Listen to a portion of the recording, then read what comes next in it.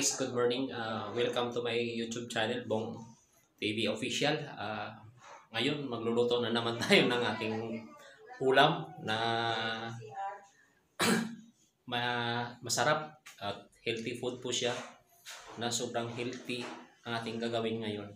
Ito ang tinatawag nila na buti pa yung saging may puso. Kaya magluluto tayo ngayon ng sinigang ng puso ng saging para sana sabi nga nila sana all may puso. Ayun nga po, ah salamat sa lagi niyong pag uh, subaybay ng aking mga video na hindi kayo nagsasawa. Ang ginagawa ko po ito ay healthy food at nakakatulong sa ating kalusugan para malayo po tayo sa anumang karamdaman o sakit.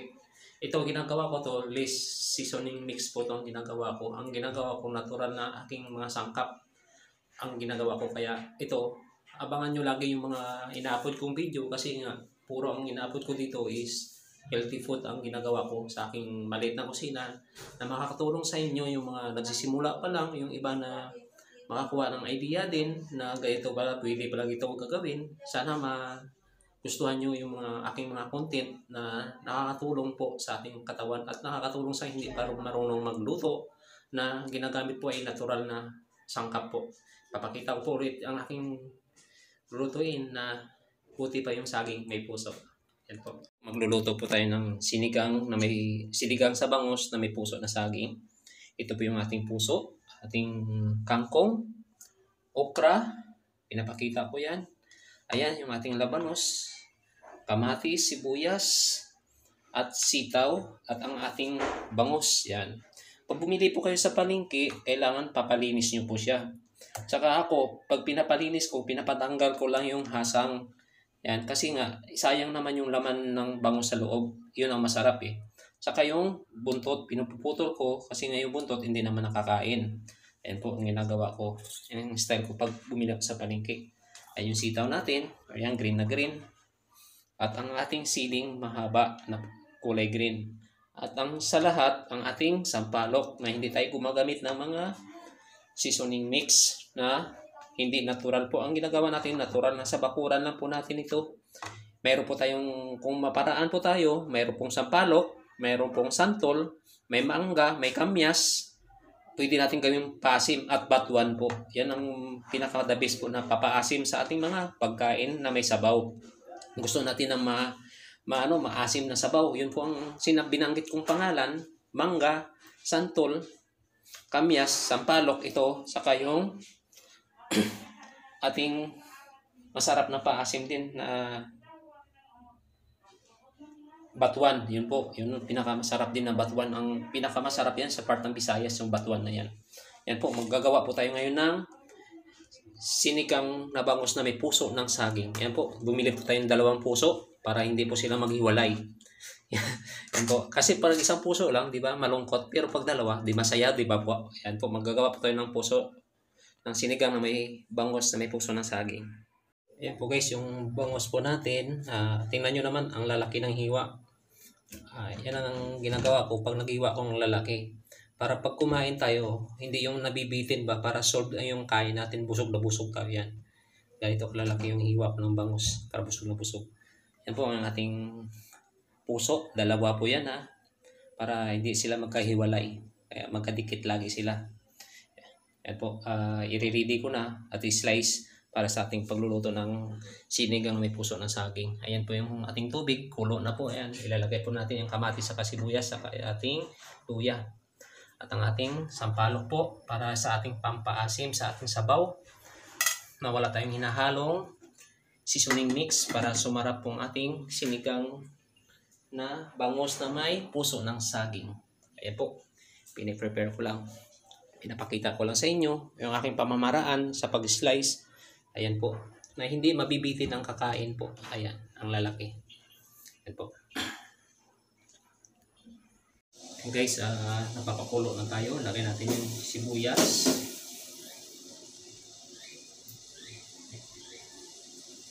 Saka kamatis. Lalagyan na natin.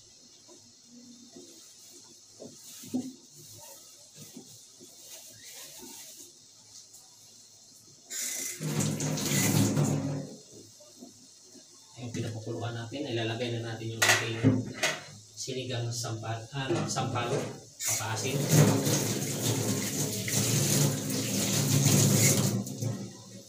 Natural po siya. Ito po siya. Ayan. Tatanggalin lang natin yung balat.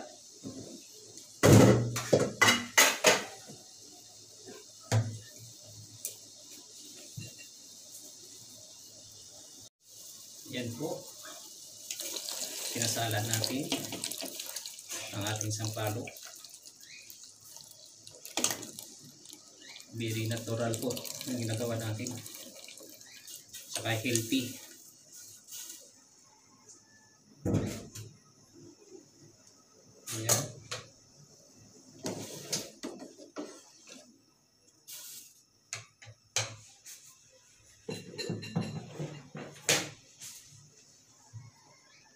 Lagay po tayo ng asin. Ayan. Ano lang po. Saka kunting patis.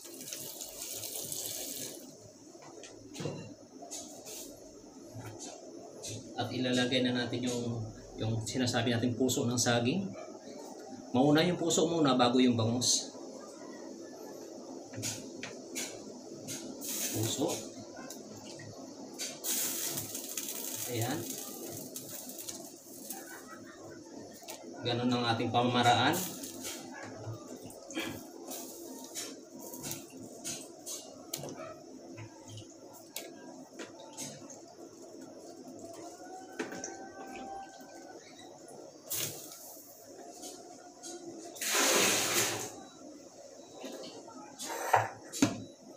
Pakuluan lang natin konti iyan.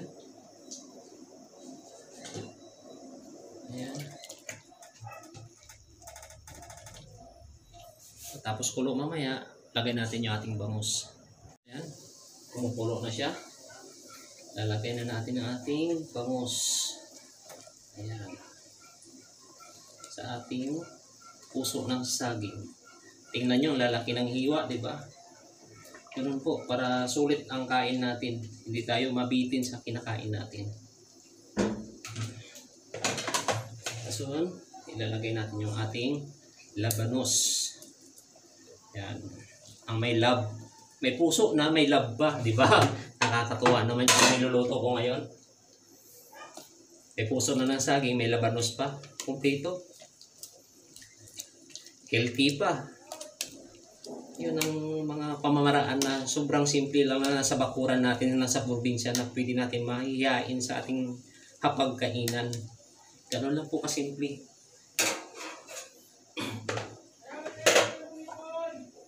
Yan po ang ating sitaw.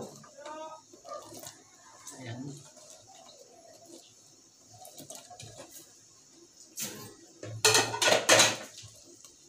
Ayan. Kailangan mauna muna yung ating ah, puso ng saging bago yung bangus. Kasi ang bangus, madudurog yan. Pero sa ginawa ko, hindi talaga madudurog yung bangus natin kasi ang lalaki, di ba? Ang hiwa. Ganun po. Kakain ka lang naman ng bitin. Ito na, hindi bitin. Hmm. Sinigang na bangus.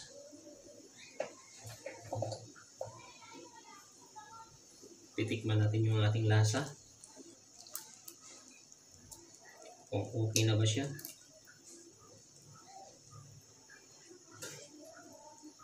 Kasi na lang ang kulang. Para mag-perfect.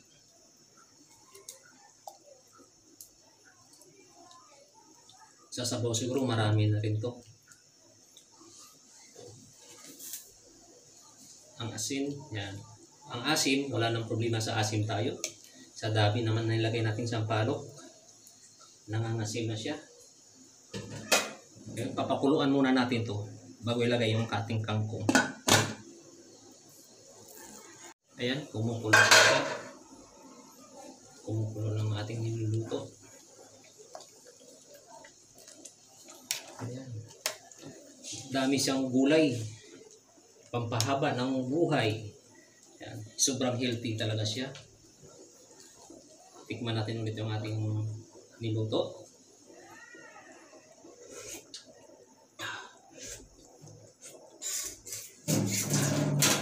Perfect na siya.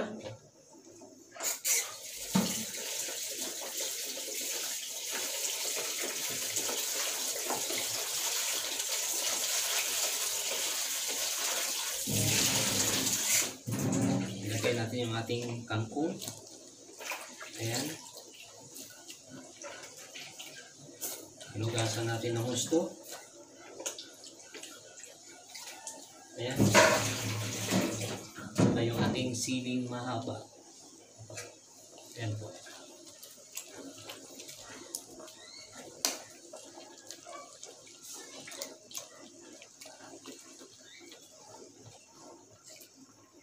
Ayan.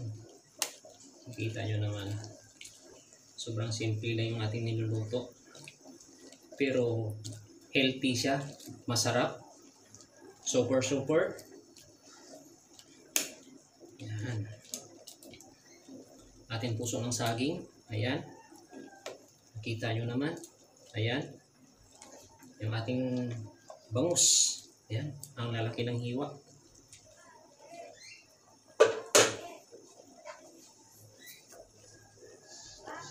Ayun guys, nakita nyo naman yung aking pagluto ng ating sinigang na bangus na may puso ng saging, di ba? Nakikita nyo, sobrang healthy po siya. Less ingredients, less seasoning mix. Very natural po ang ating ginagawa dito. Para po sa ating kalusugan po to ang ano nito yung may itutulong. At para rin sa ating ano palibot, nakakatulong po tayo kasi nga yung mga nasa tanim natin na katulad sa probinsya, nagagamit po natin na sobrang simple lang masustansya, masarap at healthy po. Yun po ang sinasabi ko dito sa aking maliit na kusina sa pagluluto. Kaya po, ah, maraming maraming salamat po sa inyo. Uh, pagsubaybay lagi, nandyan po kayo. Ah, Siyempre, pag napanood nyo yung video to mapangiti kayo dito sa mga sinasabi ko. Dahil nga, yung saging, yung puso, sa yung labanos, nagsama po sila. Ayun, malaking bagay po yun, nakakatuwa, di ba? Dalawang saging ang gina, dalawang puso ang ginawa natin niluto. Ayun, ah, maraming maraming salamat po sa inyo na andyan patuloy pa rin kayo sumusuporta sa akin. Aso papakita ko na huling kong video sa akin yung niluto na sinigang na bangos na yung puso ng saging. Ayan po, ah yan, kita nyo naman. Siguro matatakam kayo dito. Ayan, yung ating niluto. Ayan, sa daming gulay niyan. Ayan, ayan, masustansya lahat. Yung sabaw niya, super sarap. Yan, mausok-usok pa yan ha. Yan, kailangan di- tanggalin nyo na po sa lutuan para hindi siya ma masobra ng luto. Half cook lang pa buwa ang ating gulay. Ayan po. Yan yung ating bangus. Diba? Ayan po, nakita nyo, di ba? Sobrang healthy sa init. Napasok ako. Ayan po, ah, maraming maraming salamat. At patuloy po kayo sumusuporta sa akin. Tulungan nyo po ako sa aking WH. Panoorin nyo po yung mga video ko.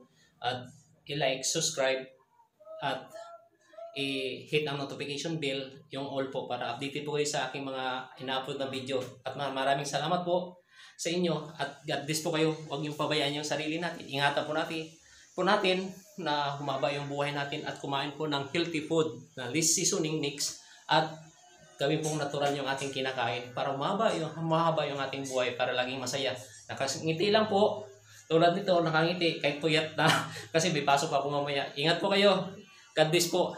Sana mag magtulungan po tayo at matulungan ko kayo sa bandang huli na matumagumpay man tayo sa ginagawa kong ito, matulungan ko kayo. Ayun po, babay po. Ingat po lagi kayo. God bless. At mag-ingat po tayo sa virus. At ilayo po ang ating, huwag po na pabayaan ang ating sarili na mapahamak. Babay po. Ingat po kayo.